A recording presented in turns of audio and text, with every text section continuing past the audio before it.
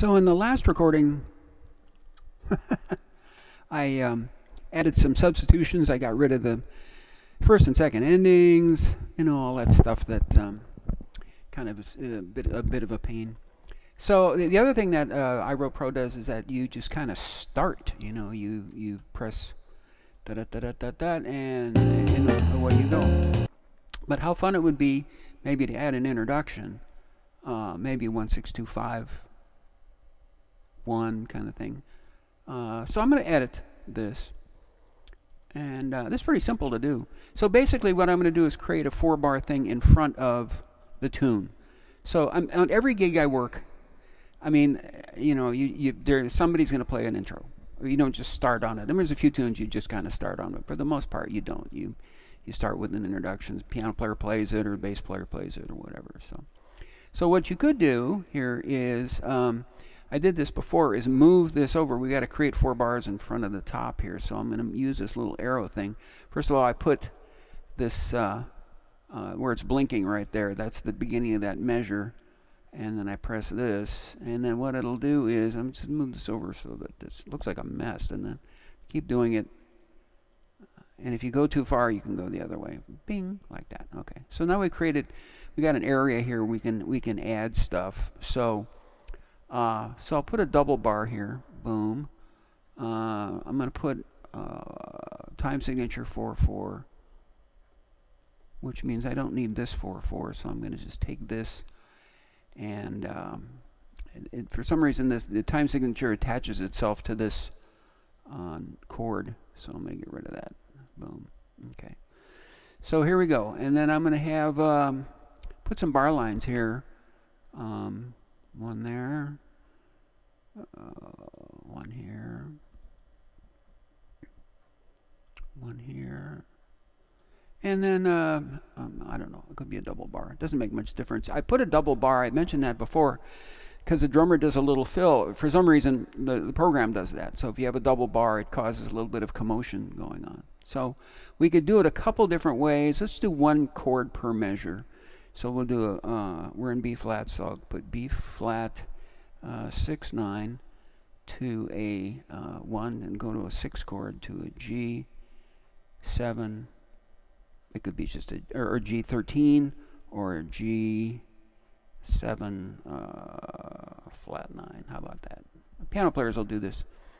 And then you have your choice of either a minor chord or a major chord. I always like the, the this particular tune's kind of cool.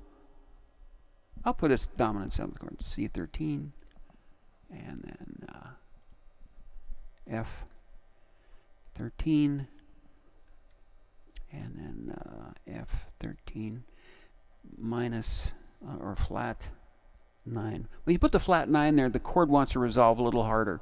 So it's going around the circle from F to B flat. So, so here we've created uh, an introduction which is kind of neat. And uh, so let's let's hear that. Uh, that way, it's not You know, we're we're we're starting. We're not just starting right on the head. So let me save this,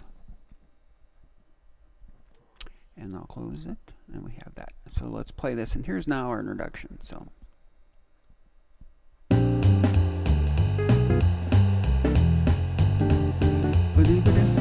There's our there's our tune. So now we have uh, put an introduction, which is kind of, you know, that makes it kind of cool.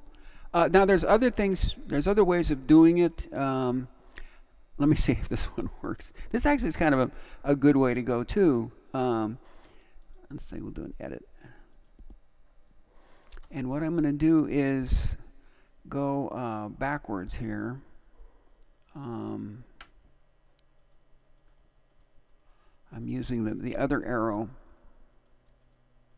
I'm going to get rid of all these chords. And then, um, let's see, let me add, I'm going to go forward now. So I could have done this a couple different ways. I could have just, I could have just deleted that. Why didn't I do that? That would have been a lot easier. well, that's why I stay at home in my room. Uh, so for the fun of it, we'll just have a little drum introduction for two measures. It could be four, but we'll do two for the moment. So we're going to have a uh, and I'm putting double bars here because the drums seem to get a little more active uh, if there's double bars happening. Uh, I don't want that one. I want to. Um, I want to have uh, this one here. There we go. So we have this now. uh, The, the, the, the program kind of freaks out. You have to put up here that there's no chord. Um, up here you put uh, NC, NC. Uh, this is here. I don't need this. I'm going to delete that. Okay. Oh, it took the took my thing away too. Okay. So now, and then I'm going to put the uh, time signature here, which is 4 4. Ding. Now we're swinging.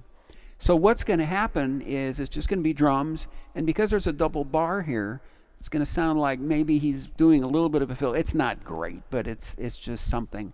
So that it gives you a way of, of getting into these tunes without. So you're starting on the head, but uh, now you have this little two bar intro with the with the drums. So uh, I'm done with that. So save, close.